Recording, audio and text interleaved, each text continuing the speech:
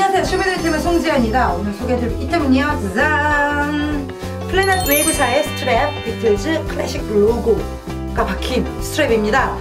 오, 이 우선은 이 로고를 쓰려면요 판권을 좀 따야 되는데 어, 예전에 Levy's사에서 비틀즈의 가사가 이렇게 쫙 박힌 그런 스트랩의 종류가 나왔었어요. 근데 이번엔 Planet Waves사에서 네, Dunlop 계열이죠. 네, 이 비틀즈 로고 정식 로고의 판권을 따냈나 봐요. 네.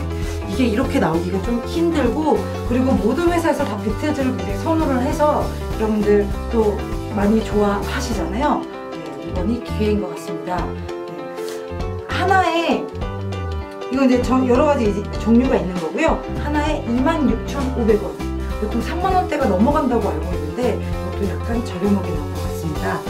어, 이번 기회에 비틀즈 스트랩 로고가 박힌 스트랩으로 좀 뭔가의 기분 전환 하시는 것도 괜찮을 것 같은 생각이 드네요. 굉장히 어, 프린팅 자체가 깔끔하고요. 비틀즈 오리지널 클래식 로고이기 때문에 어, 여러분들 좀 구미에 맞게 나오지 않았나 싶네요. 전체 폴리에스테 에스테르로 되어 있고요. 가볍고요. 어, 2.5인치로 이제 어깨 5cm 정도 되겠죠? 네, 어깨 밀착감도 굉장히 좋고요. 어, 굉장히 부드러운 폴리에스테르 제품입니다.